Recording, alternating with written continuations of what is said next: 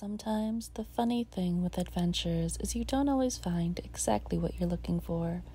And that was the case today in our trip to the Pest House Cemetery in Provincetown, Massachusetts.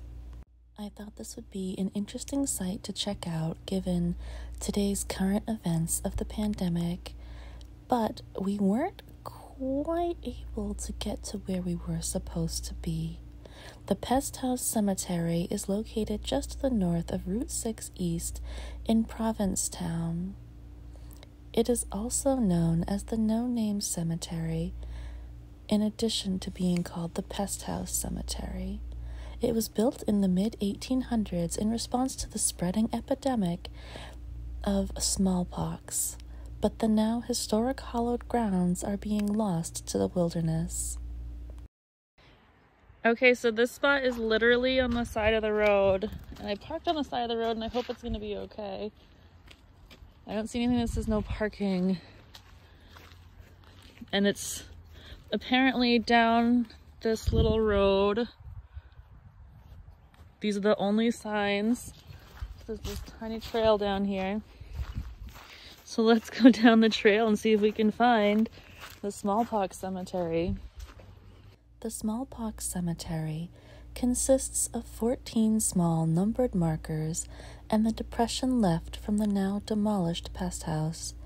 Back in the 1800s, pestilence houses, or pest houses, were known as small treatment buildings for those plagued with smallpox. At this particular pest house site, 14 people perished from the disease.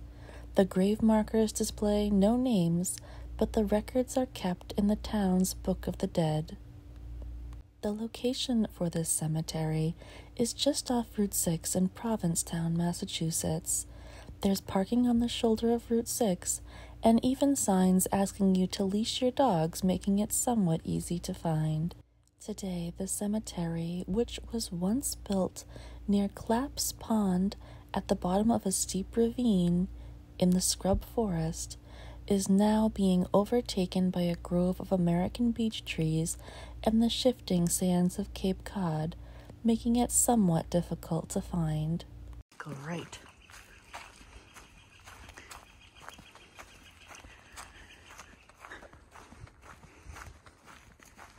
Uh oh. I don't think we're going there today. It's all flooded out. From there, you're supposed to follow the trail, head past a stone marker which leads to an intersection, and follow the path to the right. Now, that small footpath is supposed to take you over a hill and down some ways for about five to ten minutes worth of walking, at the end of which you'll see a steep hill leading to a grove of beech trees. Now, those trees will signal your arrival to the correct location but the final descent is very slippery, so please do be careful. If you do happen to find this, which we, however, were not lucky enough to do, make sure that you respect the dead and their history and leave no signs of your presence and do respect what remains. It's my thinking that at this point a lot of it has in fact become overgrown and is no longer as easy to find as it once was. We walked around in circles for quite some time in hopes of finding a different path to lead us possibly back down to where the pest cemetery once was, but we weren't successful. Either way, if you do decide to go looking for it, here's some pictures that other people have taken back in 2018 to show you what you're looking for. Have you been able to find this location? Let me know in the comments below. If not, let me know if it's a place you think you would try to find. Thank you for watching this video, and don't forget to like and subscribe to our channel for more like this. We'll see you next time.